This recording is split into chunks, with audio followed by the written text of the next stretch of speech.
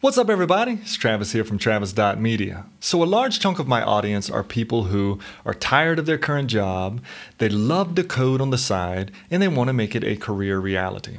From math teachers to lawyers to restaurant cooks, there are people from all over the map, and I love it.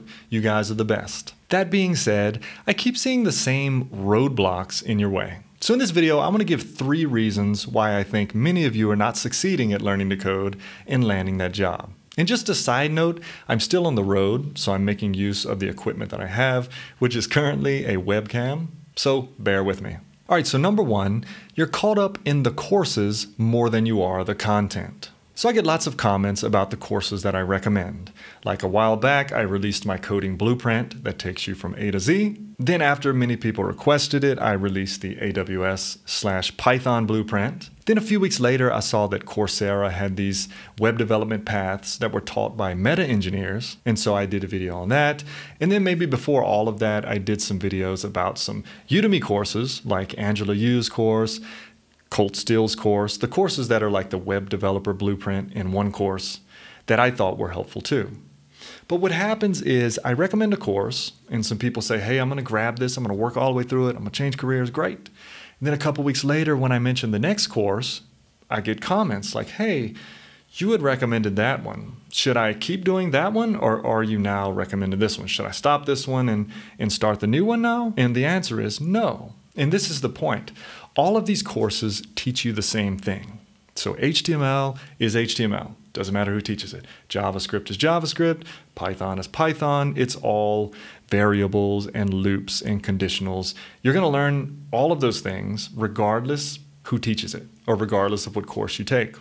The key is nailing down the content, not fumbling around with the courses. Each one of those pathways that I recommended will take you from beginner to job ready. And if I take this one and you take another one, we're going to come out at the end and emerge into the same bucket of knowledge. You're going to know HTML, and I'm going to know the same HTML because it's just one thing. So if you started out with the coding blueprint, stick with it. Don't do anything else. Stick with it, see it through to the end. So that's number one.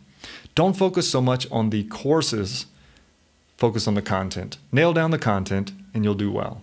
Number two, you don't have a convincing enough why. You have to stay motivated during this process. You really do if you're self taught. You got to stay motivated. You got to have a fire lit or you'll fail. For me, I fell in love with coding. I started learning HTML, I started learning CSS. I couldn't get enough of it. I just loved it. It made me really dislike my current job. I didn't want to do that. I just wanted to code.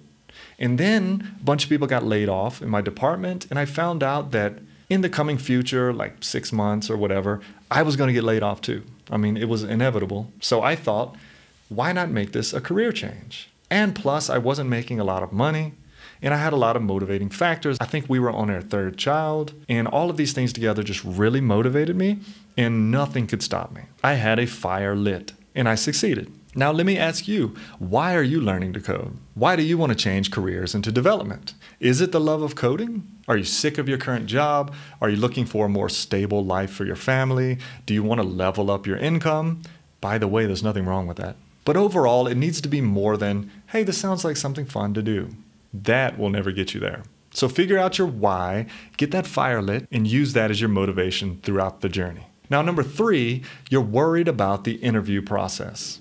So many people are worried about the actual coding interview and job application process before they even equip themselves, right? They're just they just started learning to code and they're like, "Oh, I dread the day that I'm going to have to do this coding interview or these algorithms before these great developers. I don't think I can do this. I don't want to have to go through that. I'm just going to stop now." The problem is you haven't equipped yourself yet. Don't worry about that.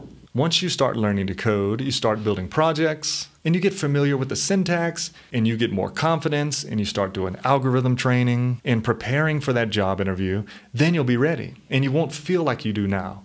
Now, that's not to say it's easy. The job interview process in the coding exam, they're hard. Nobody likes them. I don't like them. I don't do well in them, but I'm equipped to pass it, and those people can tell. And when you're just starting out, you're not ready, you're not equipped, and you don't have to be. You don't have to carry that burden yet. Enjoy the process, worry about that later. And that's number three, and that's all I have today. Are you learning to code?